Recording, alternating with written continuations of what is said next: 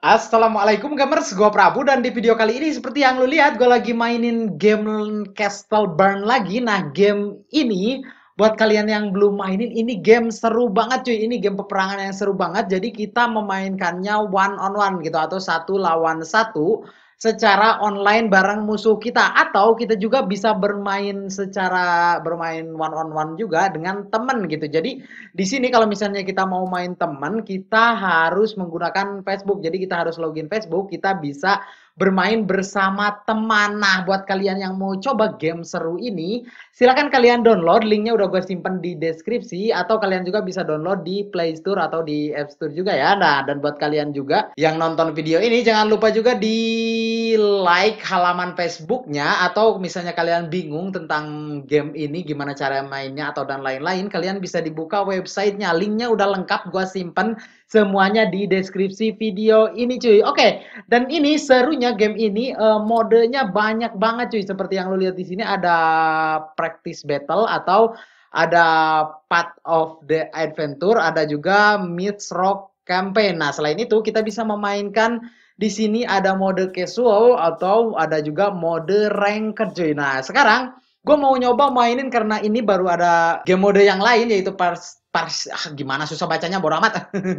ada juga yang Path of the Adventure. Nah, gue mau coba mainin yang ini cuy. Gue bakal coba seperti apa gameplaynya saat kita memainkan mode ini. Kita coba. Eh, nah, kita udah memasuki pertandingannya. Oke, jadi stage pertama kita dimemainkan yang easy dulu cuy. Kita coba apakah gue mampu Master web Discord ntar gue kurang kurang jago bahasa Inggris.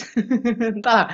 Jadi kita mainkan aja. Oke pertama-tama mungkin gue harus nurunin goblin dulu dan goblin ini kita bisa turunin secara banyak cuy. Nah seperti yang lo lihat gue bisa nurunin banyak secara langsung gitu. Pasukannya gue bisa nurunin secara banyak langsung.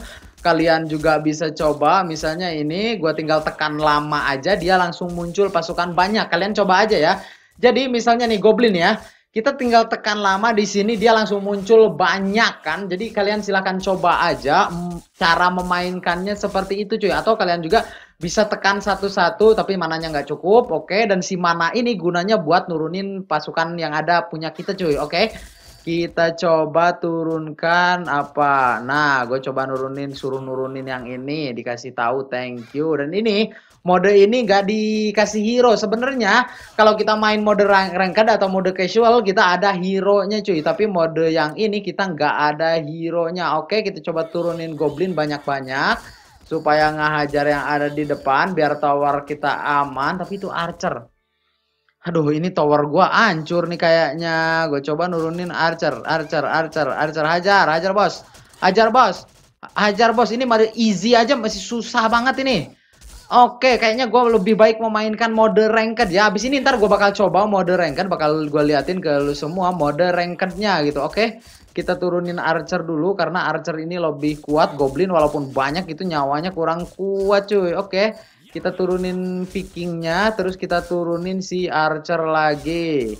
Kita turunin goblin banyak-banyak. Oke, gue keserang terus dari tadi. Musuh kok ada tower yang di sampingnya, sedangkan gue enggak ya.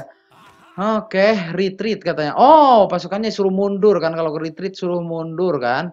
Oke. Dan ini ada pasukan tiga orang, gua nurunin ini dulu aja. Oke, terus diikuti sama archer di belakangnya cuy. Oke, kita tunggu. Apakah gua mampu menghajar tower lawan? Sepertinya serangan gua belum mencapai ke ujung sana kan. Karena entah kenapa gua kalah mulu nih.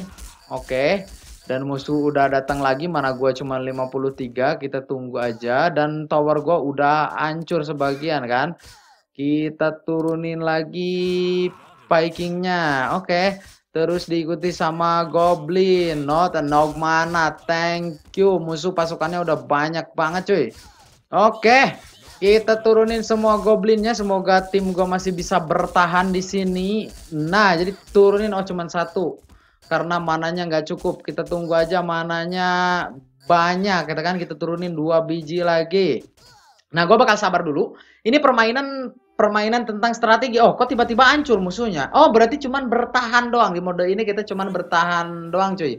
Jadi bukan nyerang. Nah seperti yang lo lihat gue mendapatkan hadiah 50 gold. Oke. okay. Sekarang gue mau coba memainkan mode yang rankednya cuy. Kita coba dan adventure ini ada tanda lagi apa. Oke berarti gue harus nyelesain 19 tapi kayaknya kalau sekarang terlalu panjang. Sekarang gue mau nyoba yang rankednya karena di video sebelumnya gue nyoba yang casual. Sekarang gue mau liatin ke lu semua. Gue mainin yang mode rankednya cuy. Oke kita langsung lihat aja. Kita tunggu nyampe memasuki pertandingannya. Kita coba. Nah, kita udah memasuki pertandingannya, kita tunggu. Seperti biasa nih, ini game-game strategi cuy. Jadi kita harus penuh strategi. Pertama-tama kita harus ngebangun yang di depan ini dulu. Kenapa?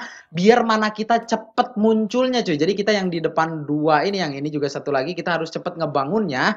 Supaya mana kita cepet terkumpulnya cuy. Oke, kita bangun lagi yang satu lagi.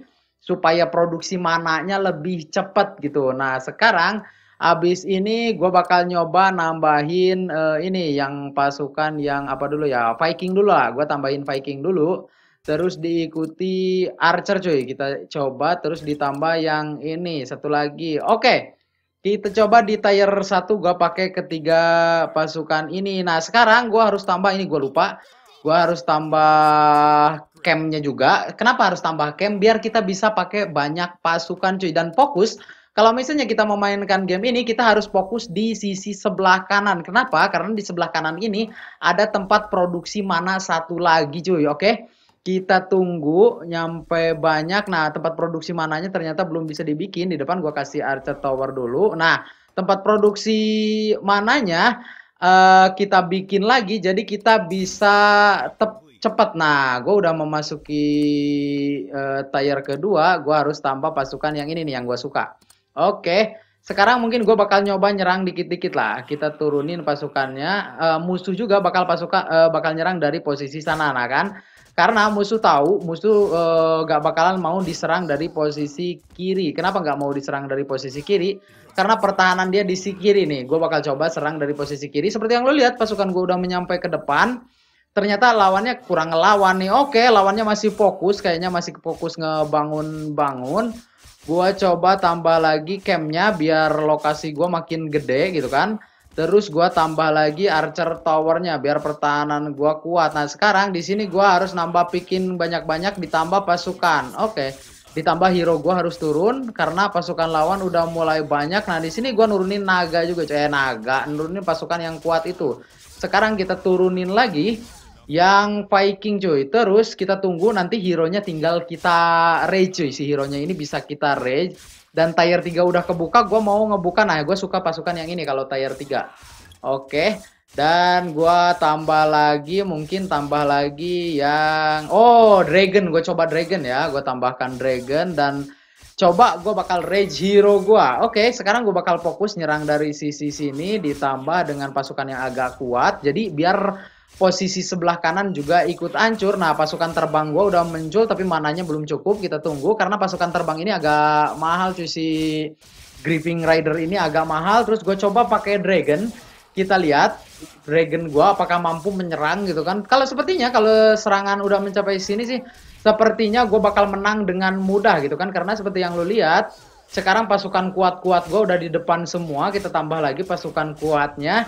Nah sekarang gue bakal tuh simpan pasukan kecil banyak-banyak. Nah pasukan kecil banyak-banyak. Caranya kalau misalnya lu mau nurunin pasukan kecil banyak-banyak seperti yang bilang tadi tekan aja lama dia bakal muncul pasukan kecil banyak-banyak. Nah di pertandingan yang ranked ini seperti yang lu lihat akhirnya gue bisa memenangkan pertandingannya dengan mudah cuy. Karena mungkin rank gue masih rendah juga ya rank gue belum tinggi jadi pertandingannya bisa gue menangkan dengan mudah. Oke lah, pertandingan kali ini segitu aja. Buat kalian yang udah nonton video ini, thank you banget. Nah, buat kalian yang mau nyoba game yang bikin gue ketagihan ini gitu.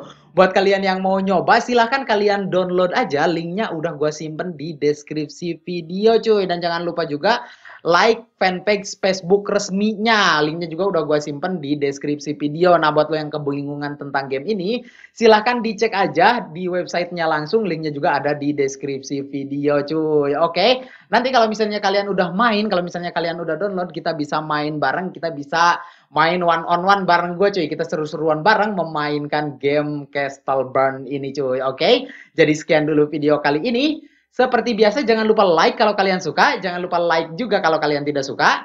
bantu gue share ke teman-teman atau ke media sosial kalian kalau menurut kalian game ini keren. Dan yang terakhir buat yang belum subscribe di bawah video ini ada tulisan langganan atau subscribe. Atau di dalam video ini juga ada logo channel gue bulat klik di sana terus klik langganan atau subscribe untuk mengetahui update-update video gue selanjutnya. Wassalamualaikum. Nama gue Prabu